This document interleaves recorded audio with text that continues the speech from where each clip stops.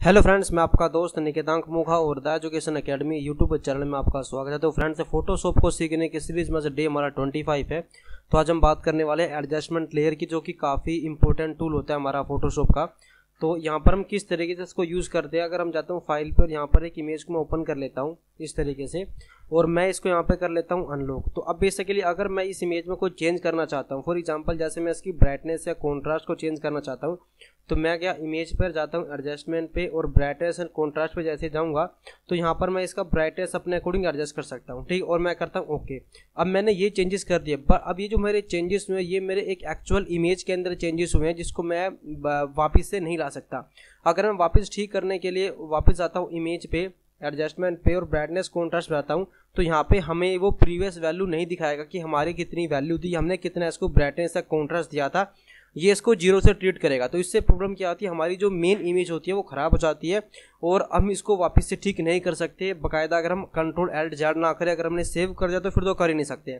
तो इस चीज़ का जो सोल्यूशन है, हमारा वो सोल्यूशन होता है हमारा एडजस्टमेंट लेयर तो कैसे करते हैं? तो मैं अभी यहाँ पर कंट्रोल एल जेड करता हूँ। तो अब इसमें क्या करेंगे? हम जाएँगे लेयर्स पे। लेयर्स पे जाने के बाद में आप जाओगे, देखो यहाँ पर न्यू एडजस्टमेंट लेयर पे।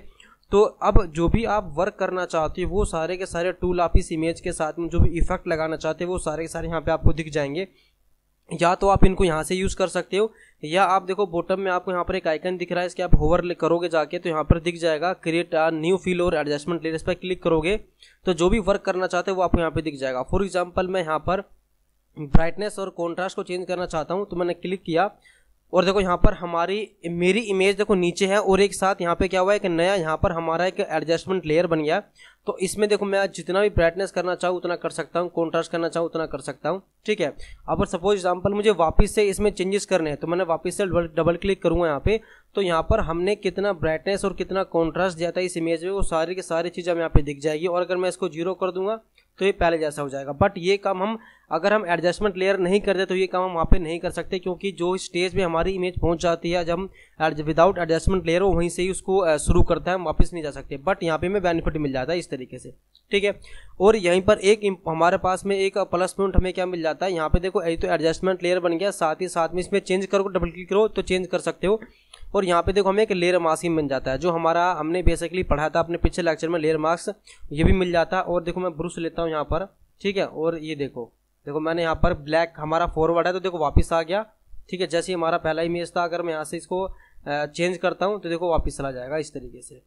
ठीक है तो प्लेक दोनों मिल जाता है, हमें एक लेयर मास ही मिल जाता है बेसिकली एडजस्टमेंट लेयर मिल जाता है, और यहाँ पर बेसिकली एक लेयर मास ही मिल जाता है। दोनों चीज़ यहाँ पर मिल जाती है।